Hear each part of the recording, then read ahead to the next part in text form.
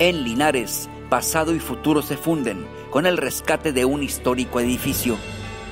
Este es el Gran Cine Teatro Benítez, un símbolo en Linares y tras haber permanecido abandonado durante varios años, ahora será rescatado como oficinas municipales. Este cine teatro abrió sus puertas en 1940, inaugurado por los hermanos Adolfo y Antonio Rodríguez. Es una tradición y es un recuerdo de aquí del, del municipio.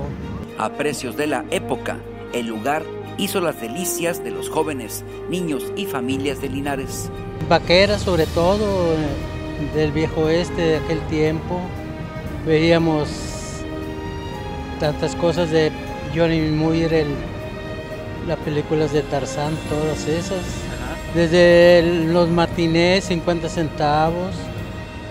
Y ya en las tardes, los domingos costaba 3 pesos la entrada.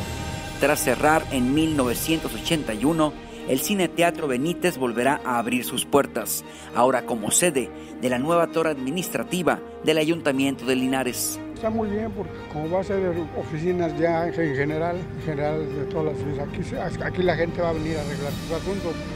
Eso sí, la histórica fachada se conservará, además de incluir en la construcción un área para ofrecer cine gratis para toda la gente de Linares. Para ABC Televisión, en la cámara Luis Espino, reportero Iván Frutos.